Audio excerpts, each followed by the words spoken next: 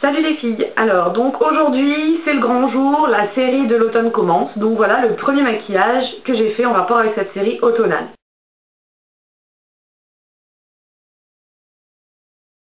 Là c'est un maquillage en fait assez simple, qu'on peut porter euh, tous les jours en dramatisant un peu plus ou un peu moins euh, les coins euh, externes, donc en les finissant en pointe, en rond, en mettant plus ou moins de couleur foncée. Donc c'est un maquillage assez simple, assez rapide pour tous les jours. Les deux couleurs dominantes de ce maquillage, le violet, le prune en fait, et le marron foncé. Sur mes yeux, donc j'ai utilisé ces deux couleurs, enfin principalement ces deux couleurs là. Il y a aussi quelques couleurs pour créer un dégradé tout simplement, mais les deux couleurs principales en fait du maquillage ce sont donc le violet et le marron. Au niveau du blush, euh, c'est quelque chose de marron, d'assez chaud, presque, presque c'est du contour en fait. Et pour les lèvres, pareil, quelque chose de très, euh, marron. Mais c'est euh, un rouge à lèvres en fait marron qui tire sur le rouge pour rappeler le marron du coin externe qui tire lui aussi sur le rouge. Les couleurs que j'ai utilisées, vous les trouvez dans la palette de Coastal Sense, celle-ci. Euh, dans la 88 originale. Euh, le blush aussi a une petite innovation. J'avais pas le blush qu'il me fallait, donc je l'ai chopé dans la palette de 28 de Coastal Sense. Et après pour le rouge à lèvres, c'est en relève Maybelline. Donc euh, vraiment, des, ce sont des couleurs en fait qui se trouvent vraiment partout. Il n'y a pas besoin d'avoir spécialement ces couleurs-là pour réussir ce maquillage. Voilà les filles, j'espère que ce premier maquillage de la série automnale vous plaira. Et si vous voulez voir comment j'ai réalisé ce maquillage, et eh bien à tout de suite pour la vidéo. Je vais commencer par appliquer euh, la base Benefit en Flatter Me sur ma paupière mobile avec un pinceau synthétique. On aurait pu très bien aussi l'appliquer au doigt, cette, euh, cette base en fait. Mais comme la mienne, en fait, elle a un petit peu séché parce que je l'ai mal fermée euh, pendant quelques temps. Au début que je l'avais, je savais pas. Du coup, ça donne que, euh, par, au pinceau, j'ai du mal à l'appliquer. Ensuite, je viens prendre le pinceau E60 de Sigma avec cette couleur de la palette Coastal Scent. Violet pailleté, en fait. Je viens l'appliquer donc sur toute ma paupière mobile que ça donne une couleur qui est assez présente. Parce que comme il va y avoir de l'estompage, je vais en perdre en fait de cette couleur. Et je viens la remonter en fait jusqu'au dessus de mon creux. Donc je pose en fait juste le pinceau comme ça. Et je remonte au fur et à mesure ma couleur. Ensuite, je viens prendre le E40 de Sigma et avec, cette couleur-là, la palette de Coastal Sense, je vais venir en fait faire un, dégradé de couleur. Mais je vais rester très légère en fait. Donc je viens de dégrader ma couleur dans mon, dans mon coin externe.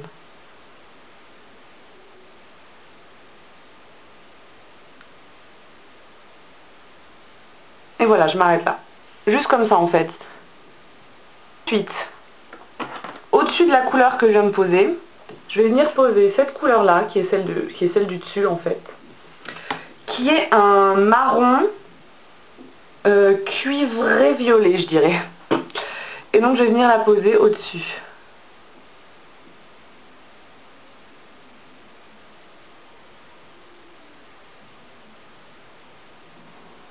Sur mes bords,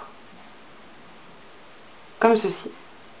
Puis, je vais venir avec un pinceau Sephora très large, donc un pinceau large, prendre cette couleur de la palette, qui est en fait de la même couleur que ma peau, et donc je vais venir nettoyer mes bords pour que ce soit quelque chose de fondant avec ma couleur de peau.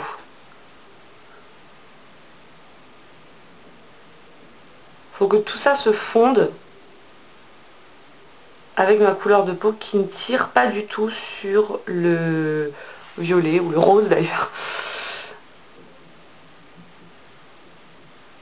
Et en fait, c'est pas vraiment un travail d'estampage, c'est plus un travail de superposition de couleurs. Ça n'a rien à voir avec de l'estompage. Même si là, on va perdre de la couleur en faisant ça, mais comme on en a mis beaucoup à la base, dans toutes les étapes qu'on a faites,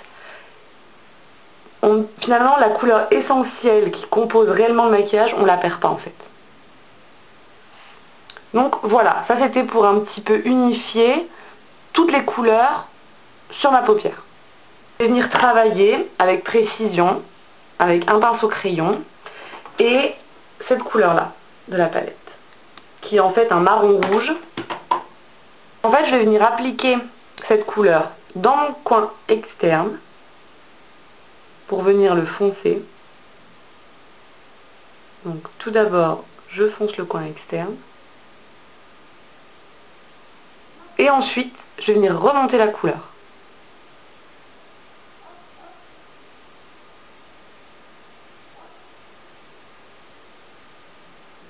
Ensuite, donc, vient le travail de l'estompage. Donc là, je vais venir bien estomper mes bords pour que ça se fonde.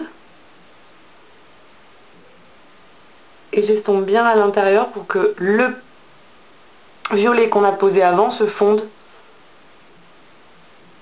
dans le marron qu'on vient de poser. Si besoin, on reprend toujours avec le, pinceau crayon pour travailler en précision, parce qu'on ne veut pas que cette couleur marron viennent trop empiéter en fait sur le, sur le violet. Et avec un pinceau estompeur, on a tendance à balayer. Donc du coup, on va venir empiéter sur la couleur. Tandis que là, je lave tout simplement, enfin je lave. Je balaye tout simplement la couleur que j'ai posée sans aller au-dessus de la démarcation. Et donc là, je viens bien l'estomper dans le violet par des tout petits cercles. Je fais des mouvements rotatifs en fait. Et j'appuie à peine le pinceau sur ma paupière. Là, je là, il faut vraiment que la couleur soit vraiment d'une uniformité sans faille. Pour euh, le rat-cils inférieur, avec mon pinceau crayon, cette couleur-là de la palette, que je vais venir appliquer sur la première moitié de mon rat-cils. Je fais pas un trait brut pour éviter les chutes. Je tapote. Ça va donner aussi un air beaucoup plus naturel à l'ensemble. Et ensuite, je viens prendre le marron qu'on a posé en coin externe et je viens le poser dans mon coin externe. Toujours avec le pinceau crayon qui est le E30 de Sigma. Je viens prendre un pinceau estompeur, donc là c'est le 40 de Sigma. Et je viens un peu estomper les bords pour pas, du, pour pas que ce soit trop marqué. Ensuite, pour venir souligner le regard, je vais venir poser un crayon euh, donc bah, mauve, donc ça c'est un crayon ELF, dans ma muqueuse interne. On a posé le crayon Kohl, on peut venir, si on veut, avec un pinceau angle, ça c'est le E70. Prendre une couleur un peu dorée, un peu vivante, là je vais prendre donc cette couleur là de la palette, qui est un doré un petit peu ocre. Et je vais venir en fait le poser dans mon coin interne. Là c'est pour venir apporter de la luminosité, mais pas de la blancheur, parce qu'on est quand même en automne, donc on reste dans des couleurs euh, logiques. Voilà. Pour la lighter, je vais venir prendre un pinceau, ça c'est le Sephora numéro 10, donc propre. Et en fait là je vais venir prendre une couleur qui est entre le neutre et le doré, c'est celle-ci de la palette. Et elle n'est pas à 100%, elle est un peu orangée, mais elle est un petit peu aussi dorée. Et en fait, je viens la poser en fait comme highlighter. Non, sous mon arcade sourcilière en fait. Vraiment très près des sourcils. Donc euh, voilà ce que le maquillage donne. Euh, alors là j'ai pas pu mettre de mascara en fait parce que j'ai les yeux complètement irrités. Donc je vais pas mettre du mascara, ça j'ai les yeux déjà qui me grattent énormément. Pour ce maquillage, ce qui est vraiment super, c'est qu'il fait sortir le vert des yeux. Donc euh, si vous avez les yeux à tendance verte, il n'y a aucun souci, ça, ressortira d'autant plus. Pour le blush, donc euh, en fait, je voulais un blush un petit peu naturel. Donc en fait, je vais venir prendre la palette de 28 de Coastal Sense. Et je vais venir utiliser... Alors, euh, quelle couleur j'avais dit? Je vais venir utiliser cette couleur-là. Hop, celle-ci. Donc avec un pinceau euh, fibre. Donc je viens prendre cette couleur. Et donc je viens la poser sur la pointe de mes joues.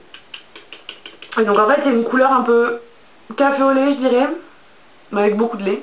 Mais euh, ça va vraiment bien euh, pour les tontes un peu automnales avec un, un oh, j'ai trouvé mes mots, un fond de teint un peu couvrant. Ça va vraiment bien. Donc voilà, là c'était pour rester un peu dans l'ambiance ton marron. Euh, bon, on n'est plus au moment du corail et tout ça, donc voilà. Pour les lèvres, donc je vais rester toujours dans des tons euh, un petit peu euh, chauds, donc tout ce qui va être marron, nude, mais un petit peu renforcé. Ah, le rouge à lèvres que j'utilise, c'est le Maybelline 750 Choco Pop. Et en fait, c'est pour rester dans des teintes un peu automnales, un petit peu chaudes.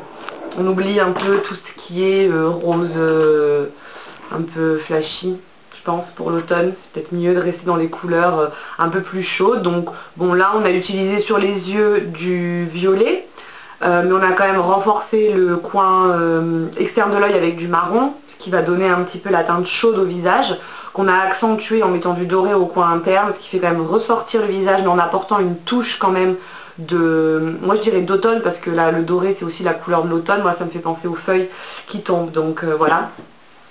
Euh, ensuite, euh, au niveau des lèvres, donc je voulais rester un peu dans des tons euh, un petit peu parallèles, similaires, que ce soit cohérent avec en fait l'ensemble du maquillage. Et pareil pour le blush, je voulais que ça reste quelque chose d'assez homogène en fait au niveau des couleurs.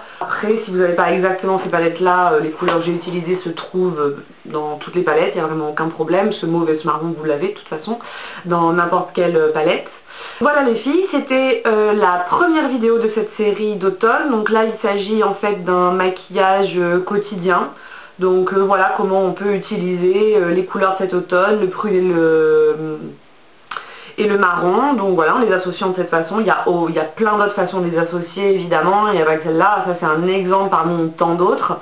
Euh, les quatre prochaines vidéos en fait euh, se fera dans une logique de progression au niveau euh, de la charge de maquillage et de couleurs et l'utilisation surtout des couleurs. On va aller vers le dramatique au fur et à mesure de la série. Voilà les filles, j'espère que ce maquillage vous a plu, que vous laisserez des commentaires sous la vidéo. J'y répondrai avec plaisir et moi je vous dis à bientôt pour la deuxième vidéo de cette série. Salut les filles